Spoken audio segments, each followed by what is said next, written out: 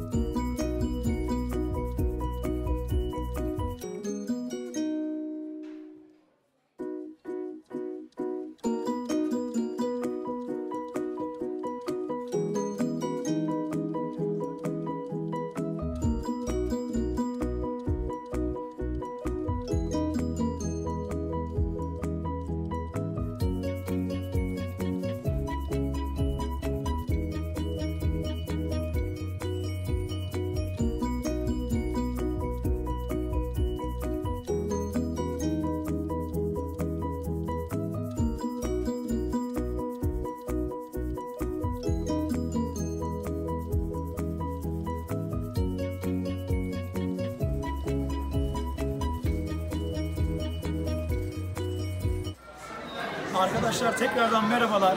Şu an menengiç kahvemiz geldi ve menengiç kahvemizi görmenizi istiyorum. İçerisine böyle dikkatlice baktığımız zaman menengiç kahvesini birazdan tatmaya başlayacağım zaten. Ama öncesinde menengiç kahvesiyle alakalı ve Antep'le alakalı kısa bir bilgi vermek istiyorum. 1600'lü yıllarda burası açıldığı için hatta 1635'li yıllar diyorlar. O zamandan beri kahve olmadığı için Antep'te menengiç kahvesini tamamen Antep halkı kendisi yapmıştır. Bununla da beraber menengiç kahvesi gerçekten Antep'te bayağı bir iyi bildiğiniz ve kültürü artmıştır. Onun yanında da buraya gelen misafirlerimiz için içilen kahvelerin yanında eğlencelik adını verdiğimiz kuru yemişlerin olduğu birçok aslında içinde kuru yemiş var ama hangi birini sayalım sizlere. Artı olarak menengiç ile alakalı kısa bir şey de eklemek istiyorum. Menengiç gerçekten vücuda çok büyük yararları var. Duyduğumuz kadarıyla kanser tedavisinde, ayak tedavilerinde, terlemelerinde daha çok diyorlar ve tabii ki ses tellerinde. O yüzden de biz menengiç kahvemizi bir tadalım.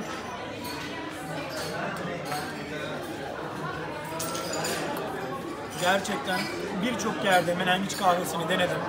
Ama Antep'te, Tahmis kahvesinde menengiç kahvesi çok güzel. Fiyatlar da çok uygun. Gelebilecek öğrenciler için, aileler için herkes öneriyoruz. Zaten şu an biz bayramda geldiğimiz için içeride yer bile yok diyebilirim. Bir dış mekan olarak ve iç mekan olarak iki mekan var içeride.